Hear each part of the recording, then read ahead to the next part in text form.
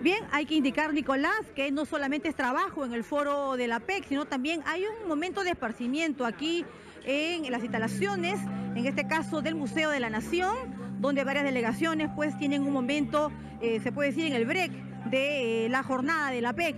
Estamos viendo en estos momentos un ambiente que ha condicionado Perú para los visitantes. En estos momentos estamos observando pues eh, que pueden ellos durante todo el día degustar el café, el café peruano, muy, muy promocionado a nivel mundial, con bastante demanda. Vemos ahí a varias personas que están eh, tomándose un descanso, como señalé. Eh, también hay un ambiente muy especial para ellos, para que descansen hasta que se inicie, en este caso, la jornada de las sesiones de la PEC. aquí vamos a mostrarles también otro de los ambientes donde es la cocina, la gastronomía, pero vamos a conversar primero con eh, la directora de Comunicaciones e Imagen País, Isabela Falco de Perú. ¿Cómo está? Buenas tardes. Buenas tardes, bienvenidos. este lugar especial, Perú está promocionando al país en este evento. Así es. Nosotros hemos preparado una barra 360 grados que la llamamos la de los cinco sentidos porque queremos llegar a nuestros visitantes extranjeros con lo mejor del Perú, con lo mejor que para su vista, su oído, su tacto y, por qué no, para que saboreen los ricos platos del Perú, ¿no? Entonces... Estamos viendo que están eh, degustando pisco. Sí, tenemos la barra de los piscos, los mejores piscos y están preparando variedad de tragos. Entonces, cada día por turnos llegan nuestros mejores bartenders y preparan desde el clásico pisco sour hasta un chilcano y macerados y todo tipo de tragos sofisticados y creativos con pisco, ¿no?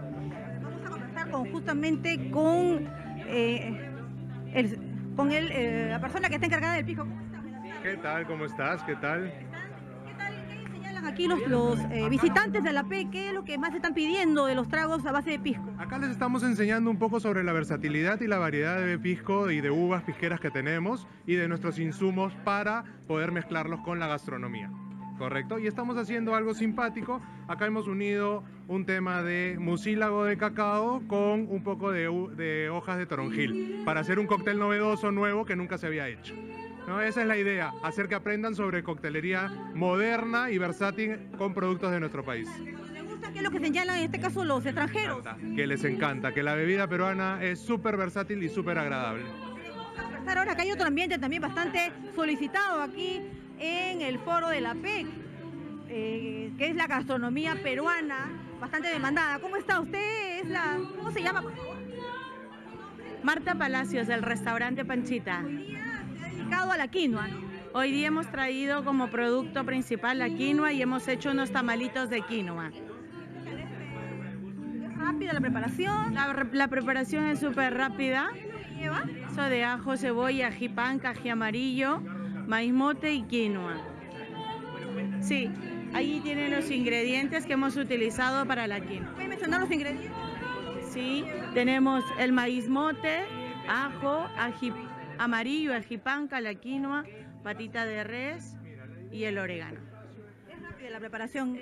Es, nutritiva la quinoa, es muy importante. Definitivamente la quinoa tiene muchos valores nutricionales, mucho fierro, hierro y mucha, tiene el 13% más o menos de proteína. Vemos que la gastronomía es variada, cada día hay un plato diferente. Así es. días que van a preparar? Es alimentar y nutrir a la familia.